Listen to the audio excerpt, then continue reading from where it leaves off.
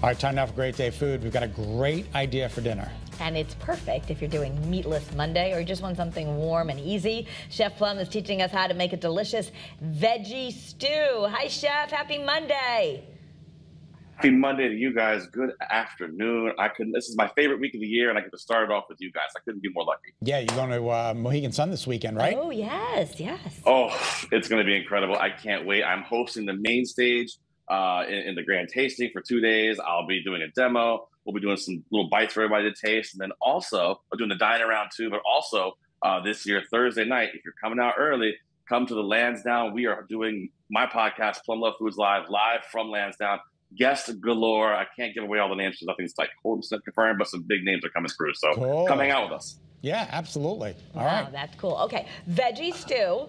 Uh, you say it's quick and easy? Listen, I got a really cool tip with this. Okay, so uh, there's three different ways you can make this particular soup. I'm going to show you how to make this in your crock pot or in your like. I have an Instapot here, which is like my favorite toy ever that I got. Here's the coolest part. Let me show you guys this. I don't know if everybody ever thinks about this. So the Instapot, this piece comes out of it, right? This is like the main cooking part of your Instapot. And if you have a crock pot, that one big piece comes out of it. So take this out. And what I want you to do is we're going to do this the night before. Okay. So do this Sunday night before you go to bed. It's really simple. I've got little uh, chopped up carrots and celery here, or as we call in the business, mirepoix. And Kara, I took your advice, and guess what? This is that pre-chopped stuff from the grocery store. I'm not yeah. going to hide it. Yeah. Put it right in there. Big Y always right? has Put it, it right the in carrot, there. celery, and um, and the carrots, yeah, and the onions. Yeah. Carrots, onions, and celery. Mirepoix, and that's done. It's already in there. I've got a little bit of green beans here, and you can alternate your vegetables for this pretty easily. But the one thing you want to do is try to keep things roughly the same size. I've got a little bit of potato because we want that starch in there, right? I'm going to take one whole garlic clove and I'm just going to drop it in.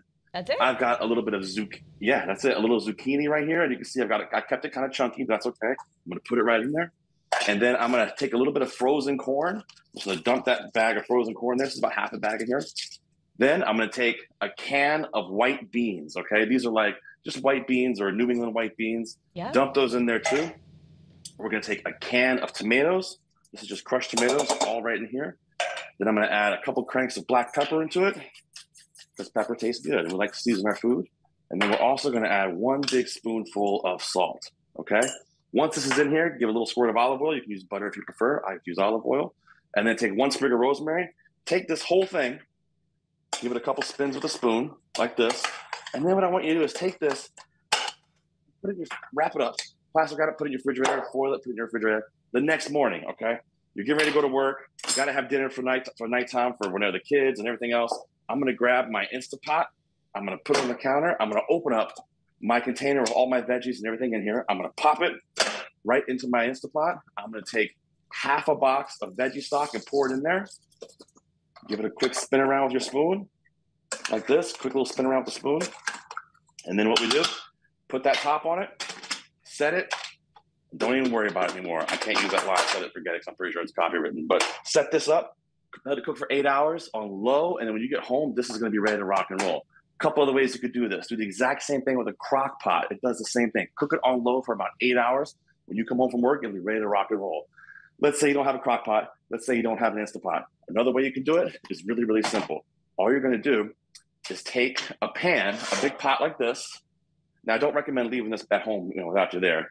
But take this pot, bring it to a, a, simmer on your stove, and throw it in the oven at 300 degrees for about an hour. And it comes out beautifully. Mm. So it's still kind of slow cooking those vegetables because what you want is those vegetables to break down, be nice and soft, and comes together beautifully like a wonderful, wonderful stew. Check this out. Let me show you here in the camera, the overhead. I'll show you what it looks like here. Look at this. Are you kidding me? Look how wonderful that looks, yeah, right? Beautiful. Look how beautiful wow, that, that looks. And all those, oh my God, those potatoes get nice and soft, and those beans sort of add so much flavor to it. And what I do is I take a couple spoonfuls like this, put it right into a bowl. And then, you know, I got to have a little bit of bread. Even though I'm trying to be healthy, Scot, I still have my rolls. Take a little bread with it like this. Mm-hmm. Finish it with a little black pepper, because I always like black pepper. Don't forget a squirt of olive oil. And here you go. Check this out. You're going to have dinner ready to rock and roll when you get home from work. Piece of cake. Yeah. This is some great stuff here. You got to give this a try. Do you strain the beans before, or do you, you just throw the whole them? can in? Do you have to rinse the beans? You oh. don't have to. I do because my wife yells at me if I don't. Okay. But you definitely don't have to. If I make this for somebody else, I don't because I like that liquid. It adds a lot of flavor. Don't be afraid. okay, very good. Okay. All right. Well, As long as your wife What I doesn't yell miss? at you. Okay. we don't want your wife to yell at you, so good. Strain the beans. All right. Strain the beans. Chef. Thank you, Sheffy. She yells at me all the time now. I don't know. See you guys later. Take Have care. a great weekend at Mohegan Sun. Listen, I can't wait. Hope to see you guys there. All right, we'll see you there. we don't yell, wives. We instruct. Oh.